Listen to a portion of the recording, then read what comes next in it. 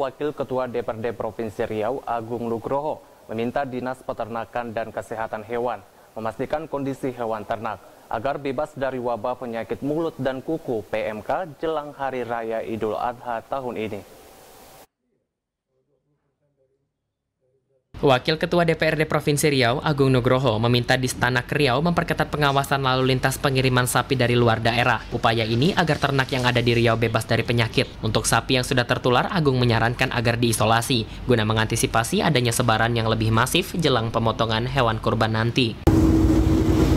Hari Raya Idul Adha, ditambah lagi adanya uh, virus PMK, penyakit mulut dan kuku untuk uh, yang terdampak sapi ini, khususnya sapi. Dan PMK ini, penyakit mulut dan kuku ini mengakibatkan harga sapi tinggi.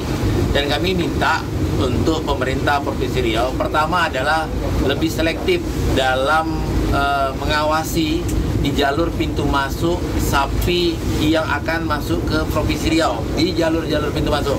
Sudah ada pengecekan. Karena memang sapi ini kita ketahui virus ini virus yang menyebar.